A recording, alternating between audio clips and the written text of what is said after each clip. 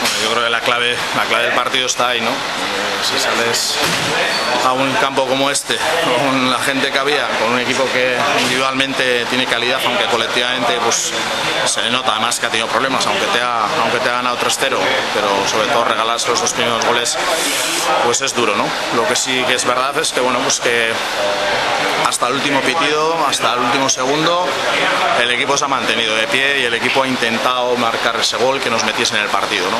Yo creo que hay un penalti clarísimo con 2-0 que no es pitado y a partir de, de ese momento pues hemos seguido insistiendo, hemos, hemos arriesgado y claro, pues, los riesgos con este tipo de equipos se pueden, se pueden pagar. ¿no? Ha habido ese ha habido ese tercer gol que ya desde luego ya pues te saca, te saca ya totalmente ¿no? de, del partido, pero sobre todo por nosotros, por el equipo y por nuestra, nuestros aficionados, hemos estado al menos hasta el último minuto de pie intentando meter un gol que, bueno, pues que de alguna manera nos diera algo.